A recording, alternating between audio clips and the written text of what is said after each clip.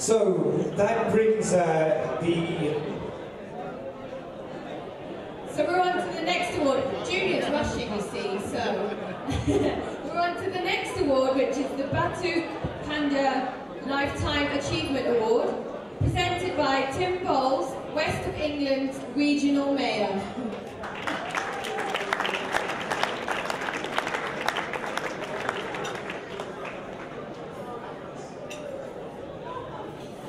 Well, good evening, everybody. Um, I'm not going to ask if you can hear me at the back, but uh, I'm going to take it you are two, I hope going to wait. May I just say, on a personal uh, note, thank you very much for inviting me, but I'm actually humbled to be asked to be presenting, hope I it doesn't say it there, but a Lifetime Achievement I think that's remarkable in itself that we're here to recognise, and I would ask you if you haven't, to read your programmes, please, because there's a tiny little couple of paragraphs about what the two people who've been nominated for this award have actually been doing, and I appreciate it's only a tiny snippet of the amazing work they've done.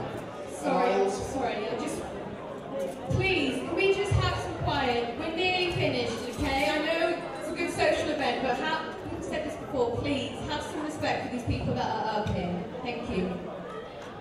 Thank you again, Roger. So we're here to, to recognise two remarkable people and the incredible work they've done through their lifetime, both in terms of the practical work they've done, but the inspiration they've been to so many in the communities around the whole region. So please just read the little couple of paragraphs, which will only give a tiny snippet, that will give you an idea of the incredible work. So.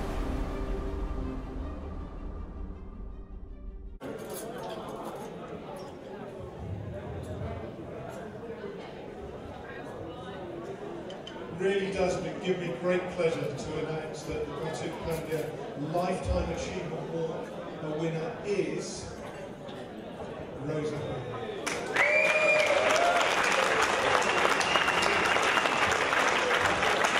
Congratulations, Rosa. And of course, a big round of applause for all the nominees. Ladies and gentlemen, for those of you who don't know who Rosa is, she is one of Bristol's finest. In fact, a fantastic lady uh, that we have in this country. Rosa Hui, ladies and gentlemen, MBEDL. Congratulations.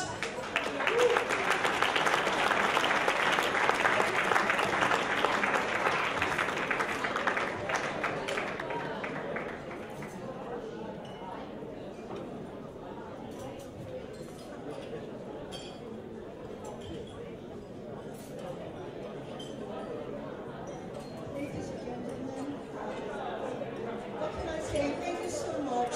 Whatever I've done, especially I've thank my team down there who supported me through thick and thin.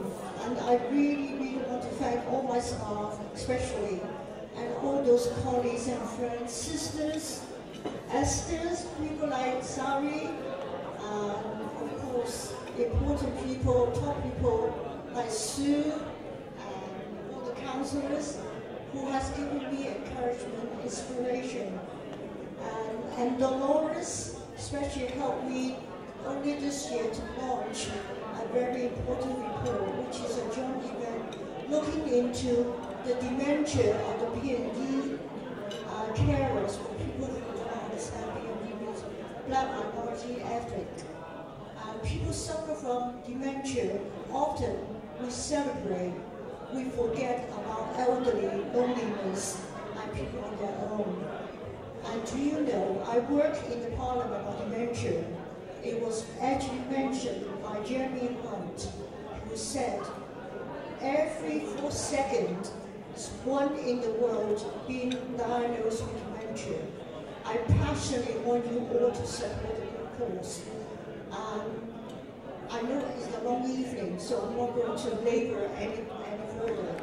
But I want to thank you this chance, especially my late colleague, Batook.